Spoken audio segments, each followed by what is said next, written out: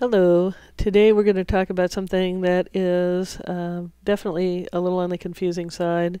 So I definitely suggest looking at the um, graphics because those will help a little bit.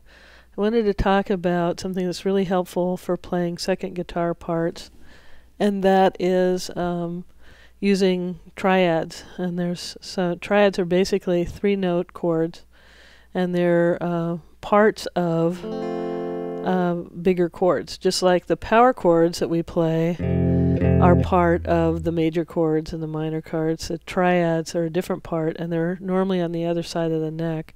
Guitar players use them a lot to create texture and uh, to do cool sounding, picky things and things that stick out from the strumming if you're in a band, or if there's two of you, it's it's really nice. It's also very nice for uh, worship to break things up or to play. If you've got a song that's got the same three chords, to be able to play the chorus using these, and the verse playing the other, or vice versa. And basically, the way they work is that what we're going to take a look at are three uh, different triad shapes that are going to be on the first three strings. You can put them different places, but today we're just looking at the first three strings, and they're movable, just like the power chords are movable. We're going to use uh, one that's based on the F chord. It's an F shape. We're also going to use one that's based on the D chord, which is also movable, up the neck. And then we're using a hinky one that's actually based on if we were playing a a B flat chord or something like that.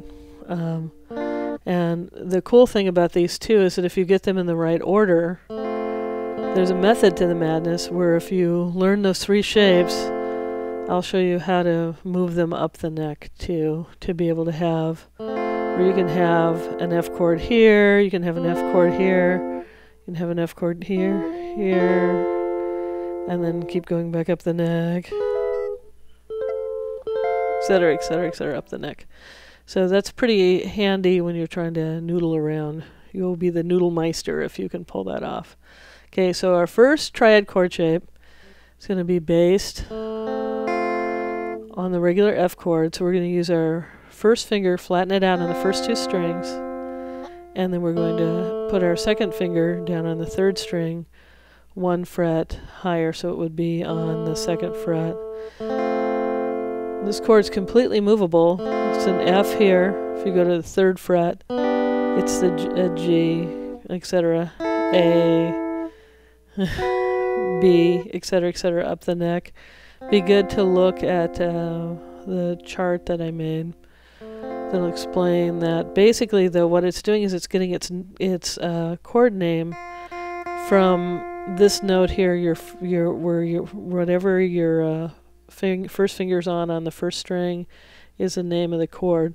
If we were playing uh, the whole chord in bar chord form, it would you could also use the same all the way across on the sixth string to get the name. Remember that both the the first string and the sixth string are E's.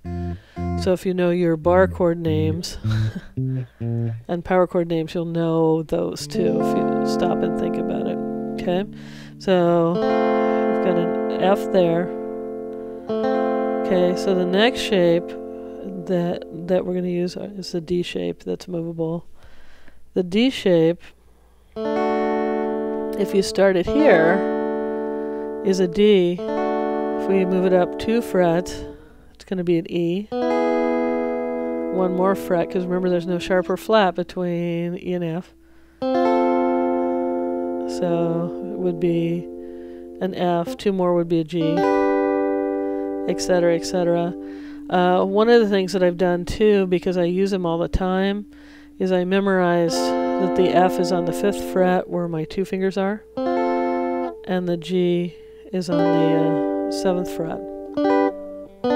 So that just makes it easier for me to remember that because the the reason for that is that the root of this, where it gets its name from, is this finger, your your third finger on the second string, which is really hard to remember. So for me, when I'm working with that shape, if I'm not using the fancy schmancy thing I'll show you later, I just um, count up and do the D, E, F, G, A, etc., etc., because it's easier for me because my brain's stupid and slow. Okay, so that's that guy. The other shape is one that's uh, probably not as familiar uh, for you. If we were to play uh, a B flat chord, remember we'd put our first finger on the first string on the first fret. That would be like moving our A chord using the other three uh, fingers up. So basically, what we're doing is we're taking that chord shape and we're only going to use uh, part of it. And so normally the easiest way to play it would be uh, like if we were doing it on the first fret, you'd have your first finger there, second finger on the third string, skipping a fret, sort of like a backwards power chord. Uh, so that would be on your uh, uh third string. Your third finger is going to be on your um, second string. Okay, and with this guy, it's kind of confusing as far as where to get your uh, to be able to tell um, where it is. This one I also memorized. This would be like if you had were using your um, A-shaped power chords. I mean bar chords. It would be getting its uh, the note name from the same place where your bar finger would be on the fifth fifth string, which which would be right there. So if you wanted to play it here that would be that would be a B flat. This guy would be a C. Still a C over here. D, E. Those are the ones that I memorized too for that. Okay, so we have with this guy B flat on the first fret, C on the third fret, D on the fifth fret, that's where your first finger would be. Um, e on your seventh fret. Those are good ones to remember because they're the ones you'll use all the time in the keys that you're playing in. Okay, so the fancy schmancy way of remembering um, them to be able to kind of play in, play them in pattern. We'll do it using an F chord, since that's that way we can see all the way up the neck. If we were playing the F chord, we'd take the F chord shape first. Okay, here's where it gets confusing. I'm going to move my finger out of the way. So you have the F chord shape. If you skip two frets, if you skip these two frets, which would take you to here, and play the D chord shape,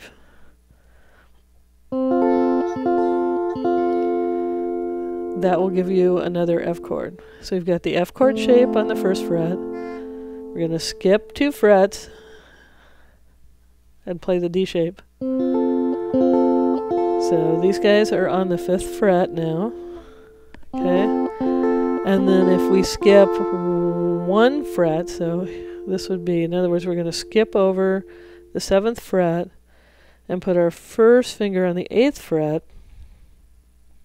and the other two skipping a fret, backward power chord. Remember, so we've got our first finger on the eighth fret second, the third finger on the 10th fret on the second string, third finger, I mean second finger on the third string on the 10th fret. All those guys are F chords. That kind of pattern is completely movable too. So you've got the F shape. The important thing is to remember that the next one is a D shape, skipping two frets. Okay. Then we're skipping one fret and we're going to the weird B flat chord shape. I'm moving my fingers up, my hand up. Okay, and then from there, if you skip two more frets, so we're going to skip these two guys, it puts you back to the beginning pattern again. And the reason that's really nice is it's nice to be able